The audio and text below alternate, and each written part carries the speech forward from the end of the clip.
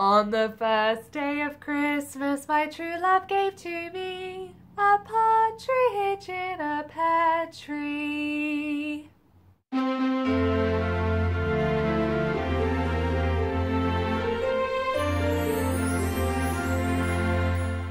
Okay, so I've got something to tell everyone.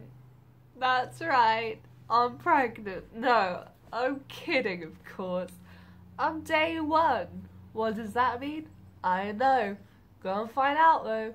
Gotta think of some funky ideas like uh, Alan Partridge or uh, tree based shenanigans.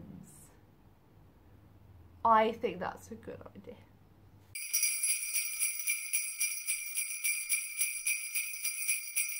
Okay, so the cast list is out.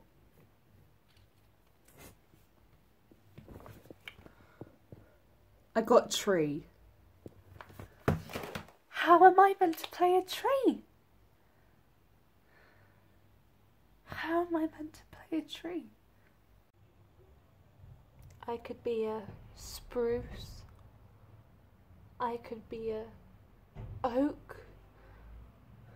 I could be a pine. I could be a pear. A pear tree. That's what I want to be. A pear tree.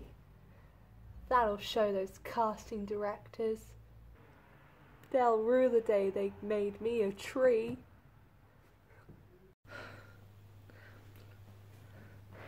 I need to know about the experience of being a tree. It's time to go do some character studies. Hi, I'm here interviewing this tree to prepare for my role as tree.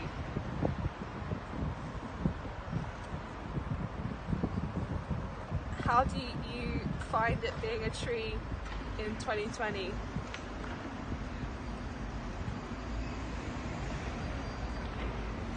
Wow, yeah. Do you find that people uh, make prejudged assumptions about you just because you're a tree?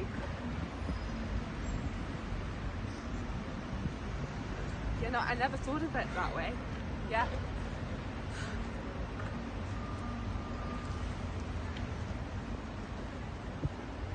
How do you feel about losing your hair?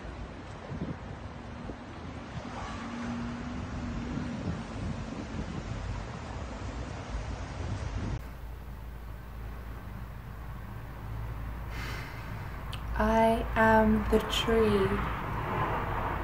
The tree is me.